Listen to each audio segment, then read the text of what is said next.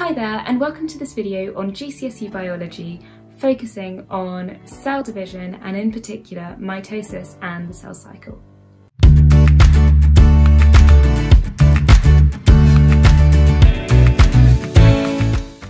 I'm Shumina from StudyMind, where we help you revise GCSE biology with our helpful video tutorials tailored to your subject, your specification and to you. If you're new here, make sure you click the subscribe button. Whilst you are watching, please leave any comments below if you're unsure about anything, and let us know if it's your first time watching our videos so we can send you our free revision materials. We also have helpful timestamps below for each part of the video to help guide you through the specification. So let's get started. Hello and welcome to tutorial 2 of 3 on our lecture series on cell division.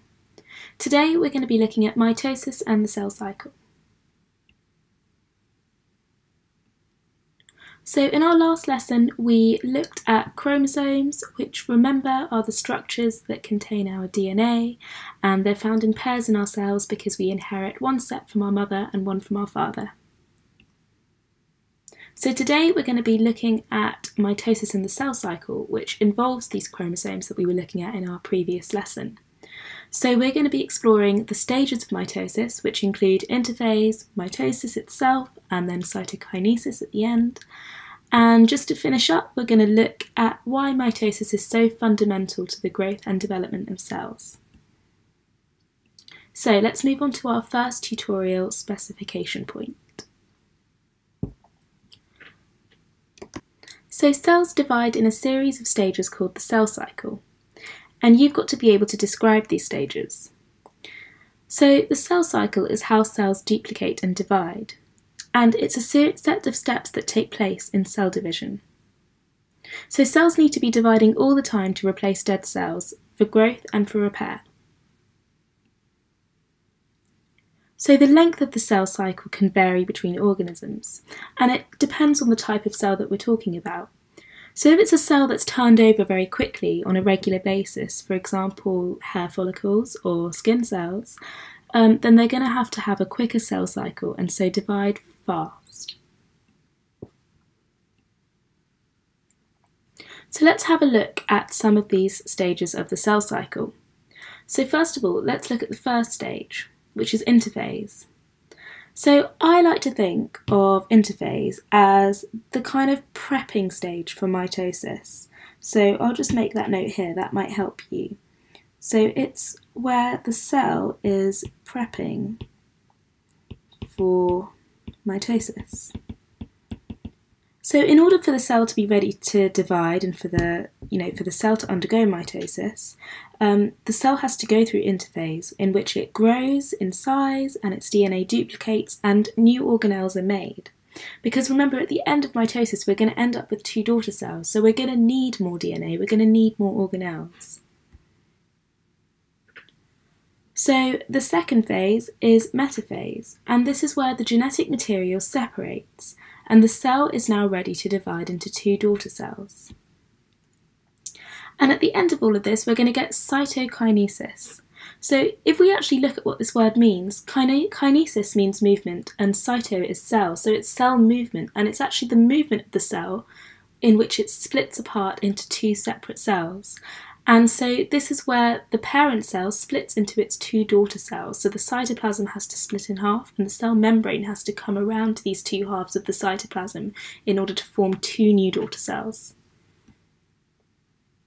So let's just have a look at this in a little more detail. So, so in our parent cell we have our um, pairs of chromosomes as you can see here. So we've got one from the mother and one from the father.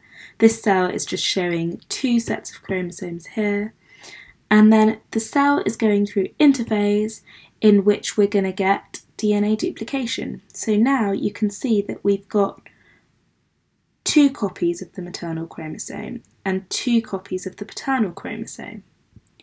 And then once the cell has undergone mitosis, we're back to essentially a mirror image of what the parent cell is. So if you compare the parent cell to the two daughter cells, we're going to see the exact same scenario here. So again, we've got our two copies, one from the mother and one from the father of each chromosome. So don't worry if this doesn't quite make sense right now because we're going to break this down even further and look at it in more detail. So let's move on to our next few specification points. So remember, in interphase, the genetic material is doubled and then, and then we're going to see a split of the cell into two identical daughter cells. So interphase is actually the longest stage of the cell cycle. It takes up the majority of the cell cycle because the cell undergoes so many changes. And just to name a few, that involves DNA replication because the cell has to double its amount of DNA so that it can then distribute this between its daughter cells. But also, we're going to see cell growth and production of new organelles. So, new organelles need to be produced because not only when the parent cell splits into the two daughter cells, does the parent cell need to give um, genetic information to the daughter cells, but also it's got to redistribute its mitochondria and its ribosomes and other organelles to its daughter cells. So, to summarise, we would see an increase in mitochondria number for energy, because remember, mitochondria are the powerhouse of the cell. And protein synthesis requires energy. So this energy is all provided by mitochondria. So we're going to see a general increase in mitochondria in the parent cell in order to support this whole process of mitosis.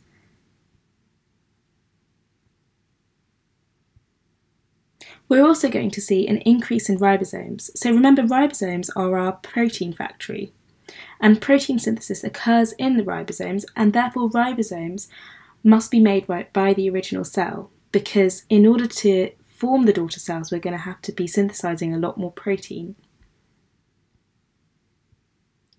And we're also going to be seeing cell growth, as I said earlier. So the cell surface membrane will extend outwards as the cytoplasm grows. So now let's have a look further into mitosis. So mitosis is defined as the division of the parent cell into two genetically identical daughter cells. So that's really, really important for you to remember. The daughter cells are genetically identical to the parent cell, and we saw that a few slides ago. So you might want to go back to that big diagram of the parent cell undergoing interphase and then mitosis.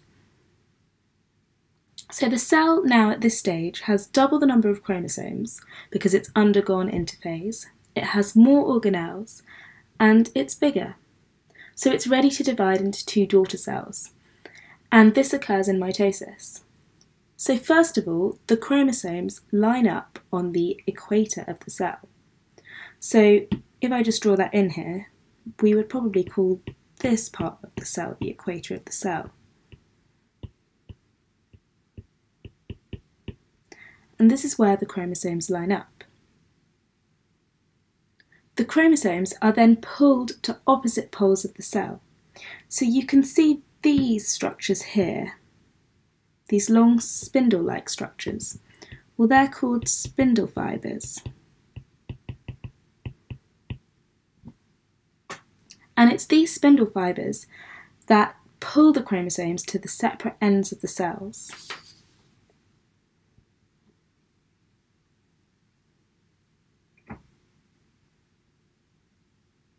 Then we just have the last stage to undergo. So the chromosomes have been pulled to opposite poles of the cell, so now two new nuclei have formed. So new nuclei membranes have to be built around these nuclei so that they become two independent sets of nuclei. And this division of the nucleus into two marks the end of mitosis. So just bear in mind that many textbooks might go into a lot more detail about mitosis, um, but you don't have to learn all of that detail. Um, just stick to what we've described in this session and that should be okay. So now we've undergone mitosis, we've got our two separate nuclei at the poles of our cell. So now we just have one final stage to go through, which is cytokinesis, which is the division of the cytoplasm and cell membranes to surround the new nuclei that are formed. So this forms ultimately the two new daughter cells.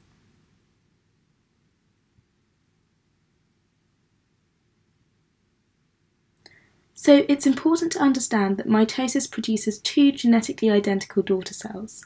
So as I said previously, they are identical to the original parent cell, as well as to each other. So mitosis of one cell produces two cells. Mitosis of four cells undergoing mitosis produces eight cells after one round of mitosis. So you always see a doubling in number of daughter cells compared to parent cells. So, why is cell division by mitosis so important?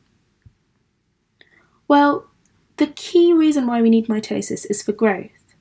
So, just think about it for a second. So, we all started off as one single fertilised egg cell, but we're now made up of millions and millions of cells. So, how did we go from one egg cell to millions of cells?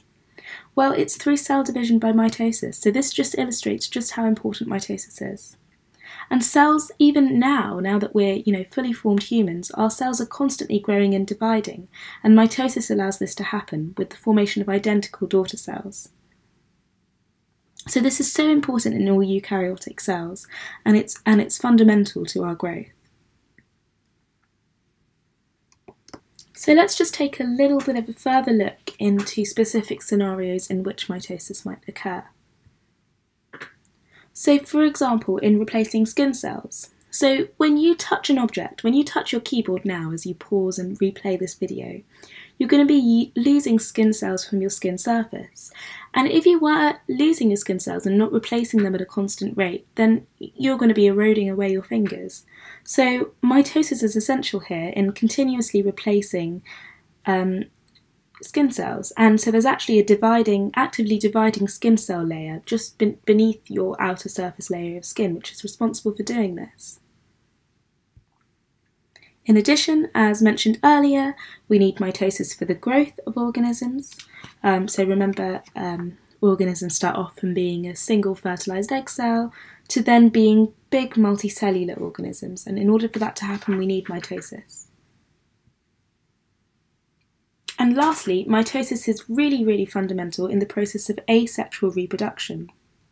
So single-celled organelles, sorry, single-celled organisms reproduce to produce two daughter organisms. So this isn't relevant to us as humans because we undergo sexual reproduction, but for example, um, a, a single-celled organ, organism, like a, bac a bacterium, for example, may undergo asexual reproduction, in which it itself divides to produce two daughter organisms, and this, this occurs by mitosis.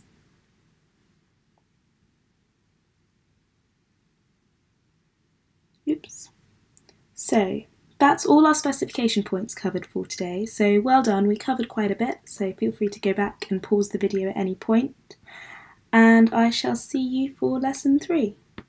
Thanks for watching this free video from StudyMind. If you liked this video, make sure to subscribe to catch our newest videos by clicking below and leave a comment on a topic you'd like a video on. Click here to watch more videos in our series for GCSE Biology or visit our website studymind.co.uk for free past paper compilations by topic and specification.